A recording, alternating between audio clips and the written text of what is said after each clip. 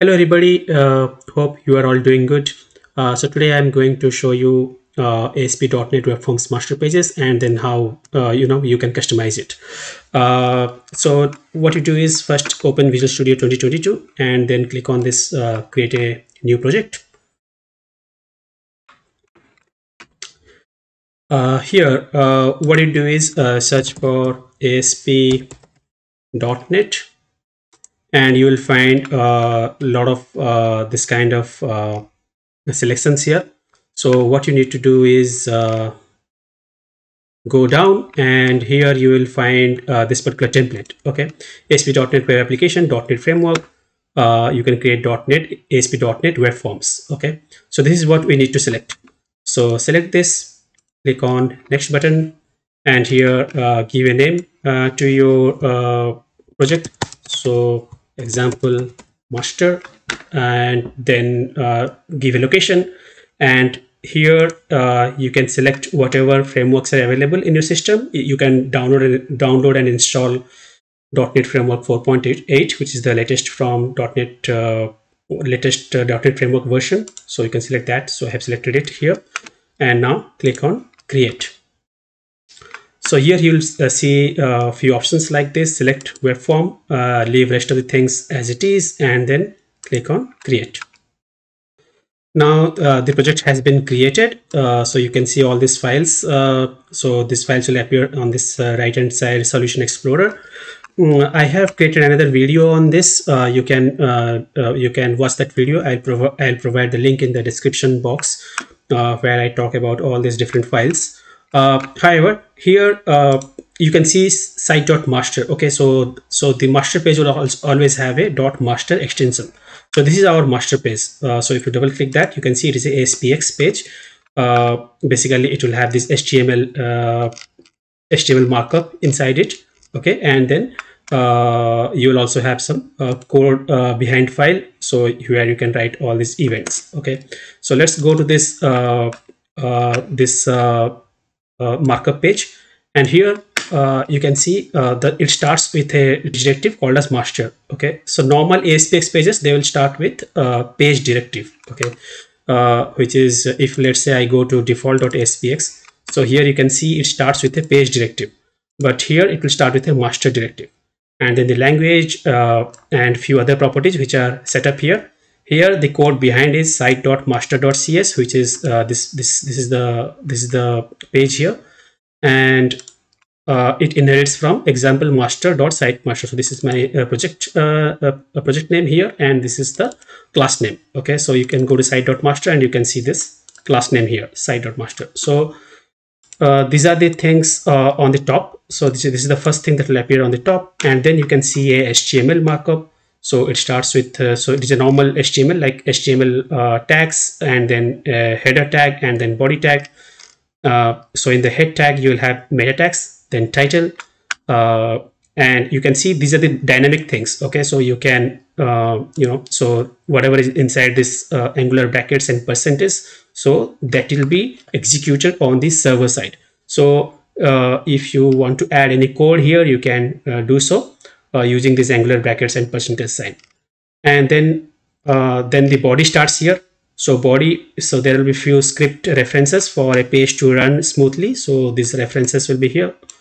And then when you go down you will find the navigation. Uh, so uh, so by default they provide certain uh, navigation links on top like home about contact. So those links will appear uh, because it is inside this navigation tag here.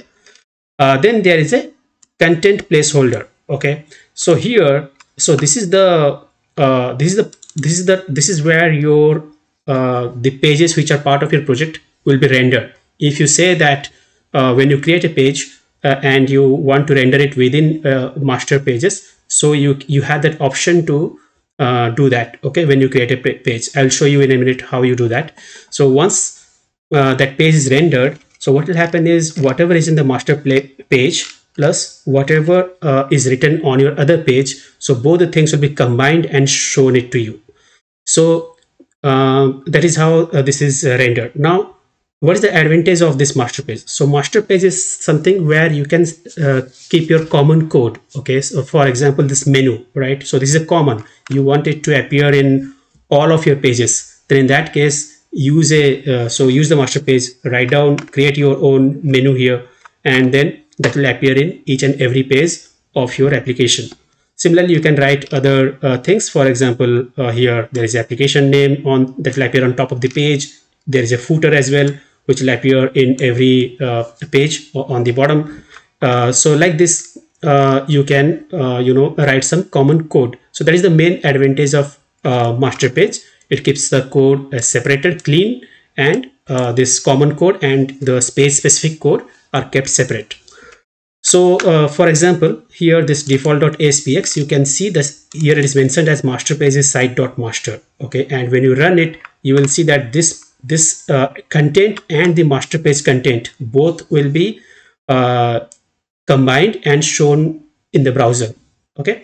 So let's now run this project. Okay now uh, you can see that uh, the page has come up and if you uh, go back here to your visual studio code uh, you can see this. So this is our default.aspx and this is the body.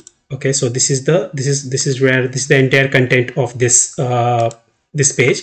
And it starts with this header asp.net now if you go here you can see this is this is this is what is rendered uh, and this is the part of the default.aspx so from here uh, so from here to this learn more. Okay so everything is coming from the aspx page. Okay the default.aspx page. Now in the site.master uh, let's go here to this. So here you can see it starts with application name.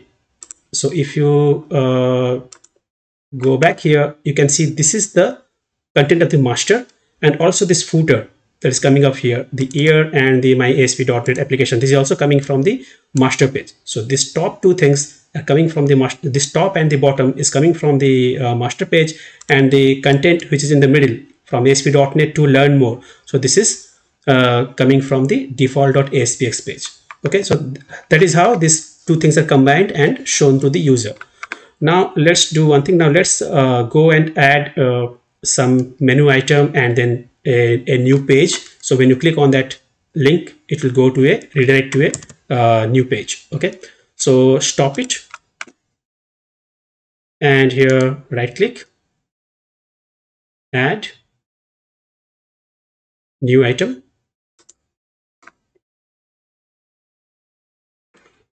Okay here we'll select web form with master page. Okay this is what you need to select. And let's give a name to this uh, page. Uh, let's say it is a thank you page. Okay. Thank you.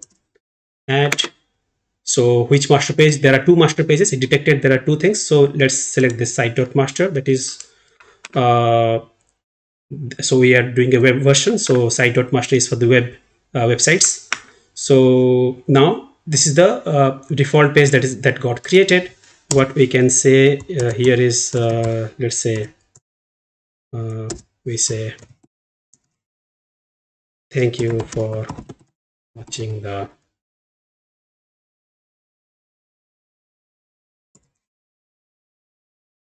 okay thank you for watching this video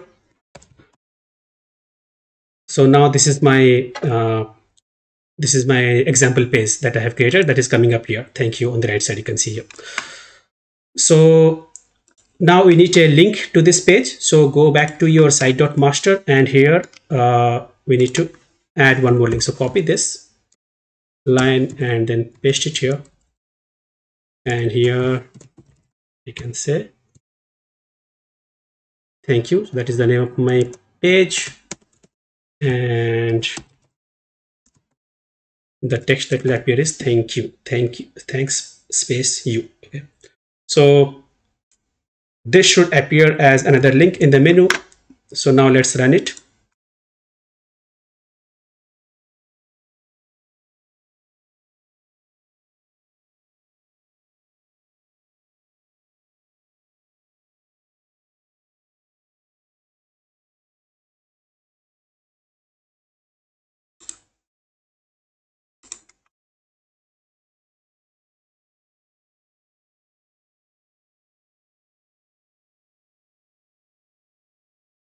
okay now the uh, the content has been rendered. Uh, so here you can see a thank you link is coming up. So let's click this and now you can see the text uh, here. Thank you for watching this video that is coming up here. So that is how you can see this these are the contents of the master page and this is the content from the uh, thank you page. Okay so this is how you uh, add pages and this is how you use the master page to display uh, the common things okay on your header and footer.